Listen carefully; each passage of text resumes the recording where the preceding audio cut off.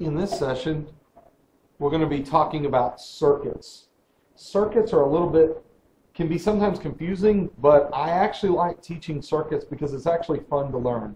You'll see on the screen there are some notes. Go ahead and pause the video, write down the notes. You may even want to draw this little schematic, and we'll talk about it here in just a minute.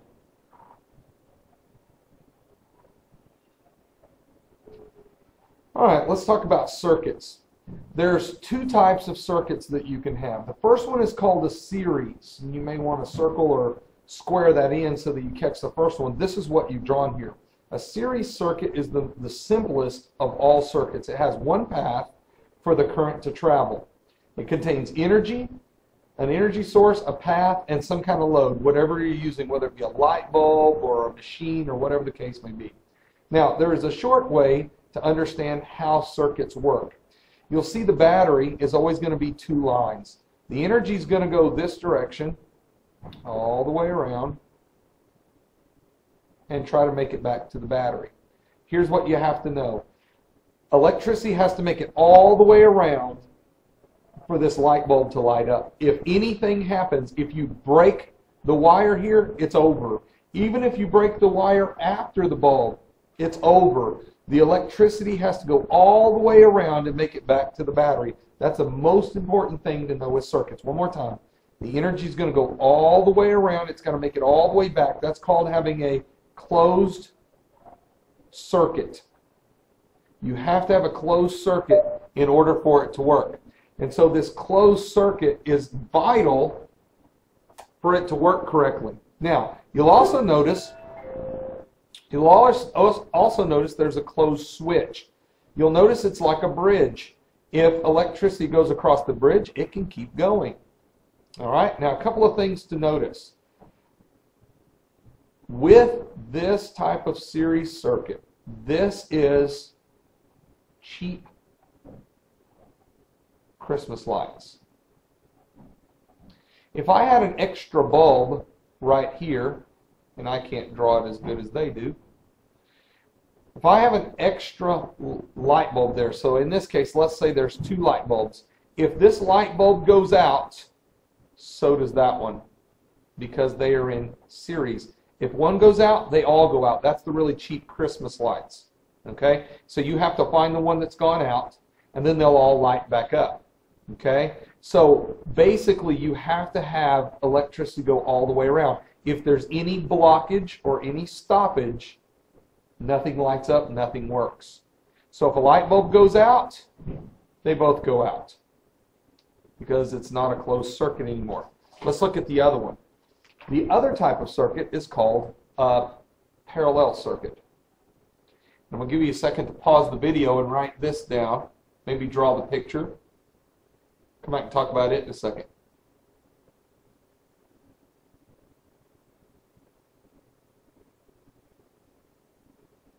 All right, parallel circuits provide more than one path for the current to travel. Now let me explain what this means. A parallel circuit, electricity could go down this way, or this way, or this way. It has multiple paths that it can go. Remember the goal is to start at the battery and make it all the way back to the battery. If anything blocks and it can't get around to the battery, nothing lights up. All right? Most circuits are parallel since when, if one lamp goes out, the others stay lit. Let's check this out.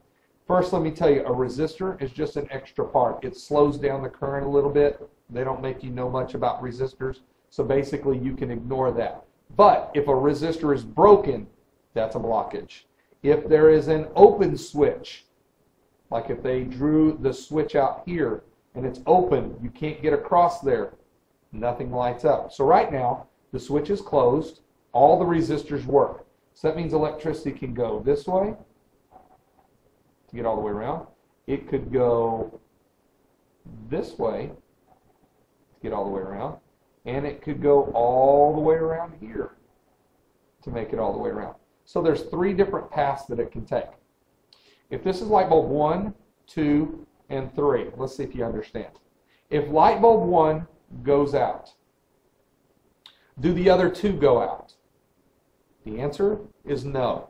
Here's why. If there's a blockage here, electricity still can still get around that. So this light bulb would light up. Electricity can get around here, so this light bulb would work. If light bulb, now let, let's say we have three brand new light bulbs. They're all lit up, and light bulb two goes out. Will this one light up? Yes, electricity can make it all the way around.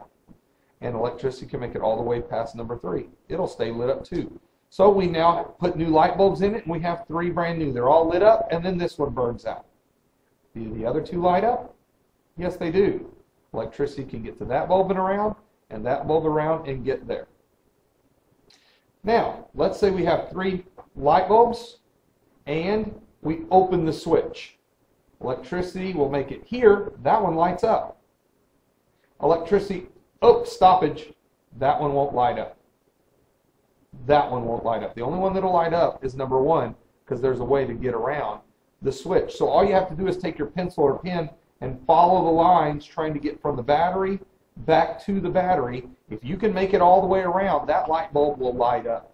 We'll see another one of those here in just a second.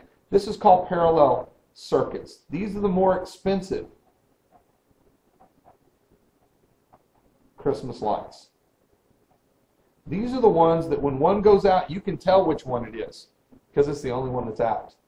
These are more expensive because they take a whole lot more wires to make it work. Parallel. Series are all in a straight line. Parallel go around so that make it work. Here's an example of a question from the TAKS test that may ask you to know a little bit about circuits. Pause the video, look at it careful, see what you get.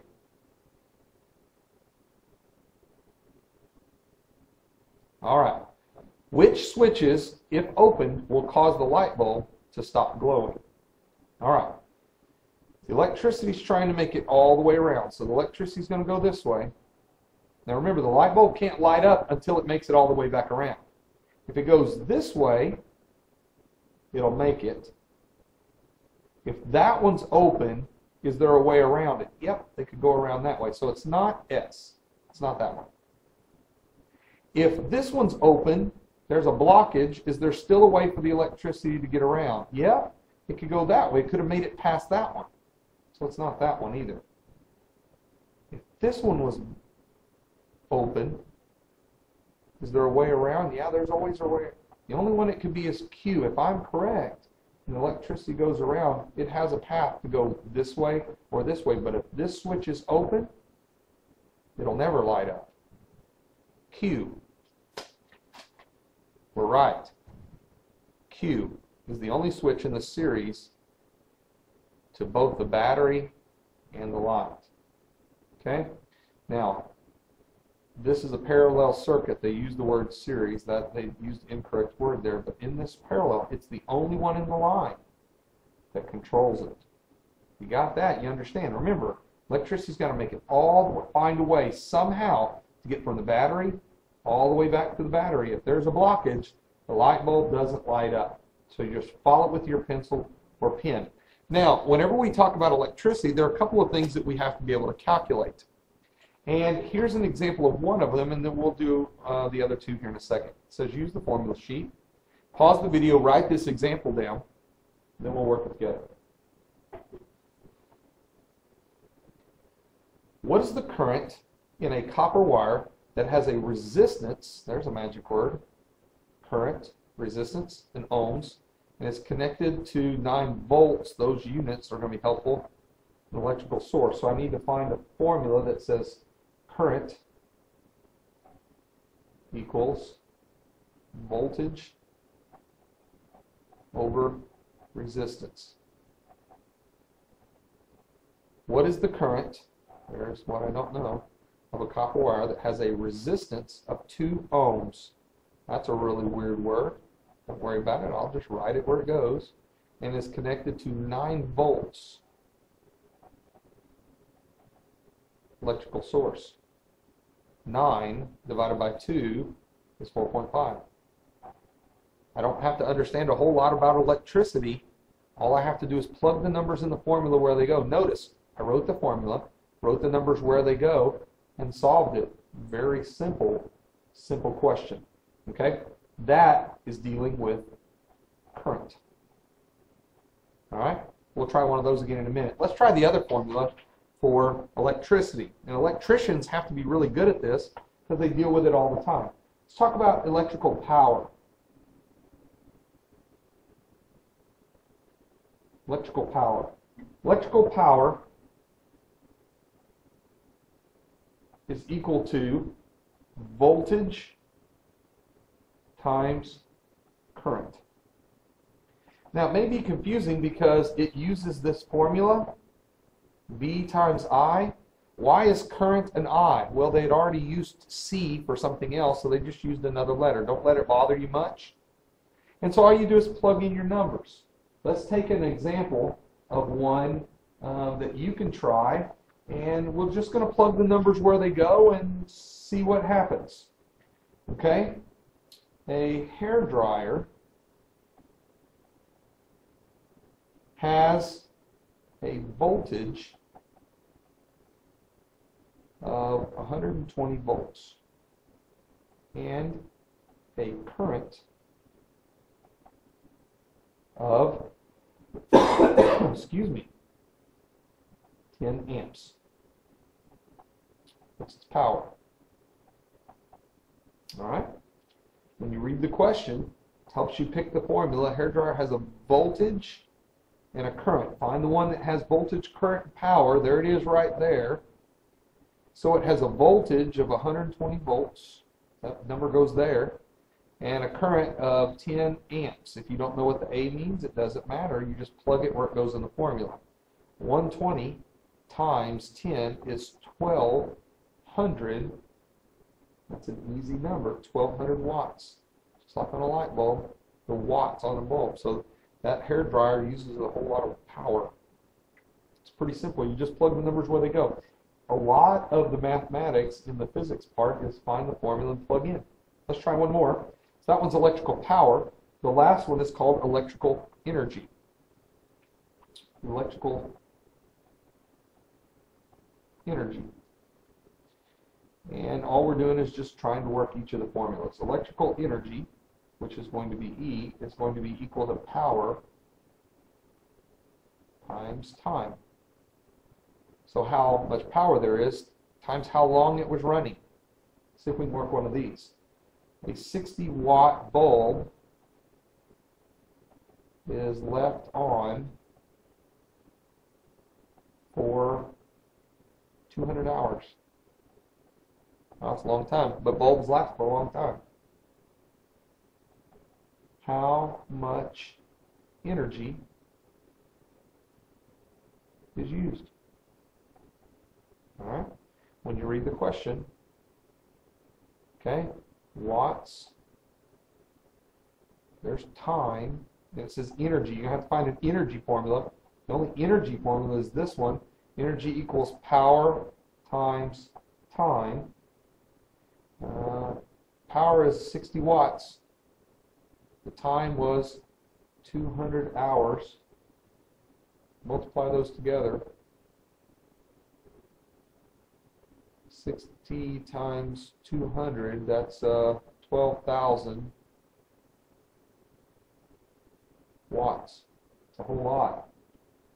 Or it may be, wow, you can shorten that to 12 kilowatts.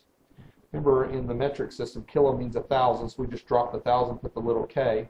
It could be either answer. It's probably going to be this one, but that's how you do the math. You just plug it in the formula, and you solve.